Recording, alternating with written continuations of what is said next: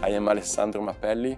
I am uh, working at CERN in the physics department in the Detector Technologies group, uh, where I am a microsystems engineer. And I am in charge of uh, looking into microfabrication and microsystems uh, for new types of detectors and also services such as cooling.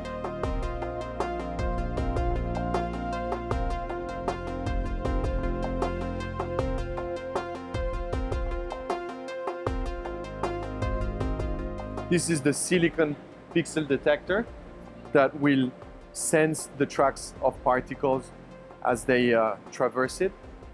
This is the, the gray part is the GTK silicon pixel detector.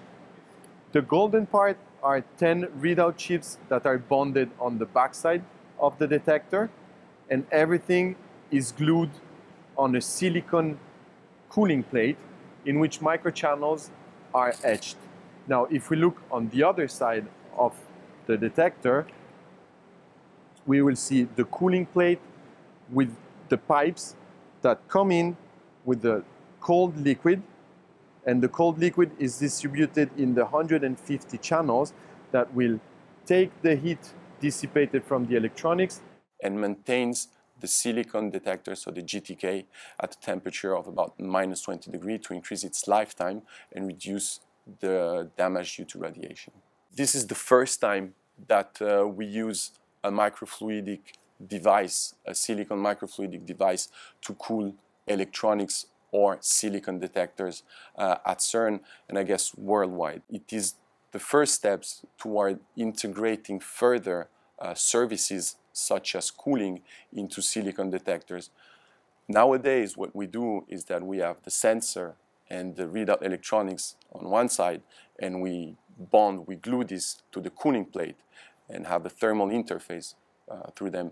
Now, since the detector is silicon, the electronics is silicon, and the cooling plate for the first time is silicon, we can only imagine that in the coming years, and this is what we're working on, uh, we will be able to integrate everything together. We want to reduce the thickness of the sensor, of the electronics as much as possible, and we want to reduce the amount of material that we add uh, for cooling uh, these detectors. Now, this means that at some point you have two very fragile objects which are difficult to handle. If you can integrate everything together, you minimize the risks of damaging and the number of manipulations that you need. Now, the other advantage in integrating the microchannels in the silicon detectors is that you minimize the thermal resistance, the thermal pass that you need uh, in between the cool point, so it's the fluid in the microchannels, and the hot points, which is the electronics, and the device that you need to maintain cold, which is the detector.